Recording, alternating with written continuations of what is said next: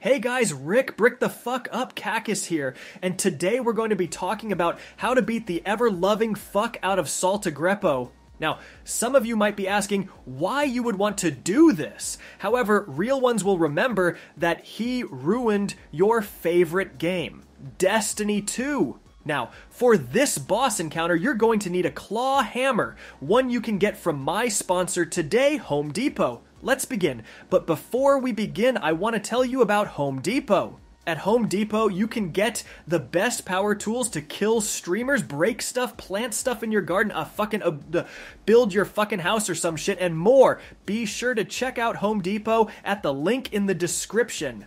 Now, let's begin.